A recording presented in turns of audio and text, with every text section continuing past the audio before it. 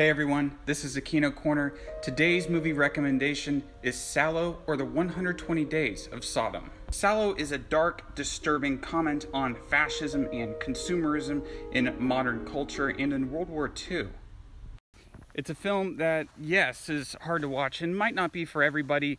And the scenes where they eat literal poop, well, chocolate and orange marmalade, might make you throw up. But if you've got the stomach for it and you've got the will, it'll be one of the best movies you've ever seen.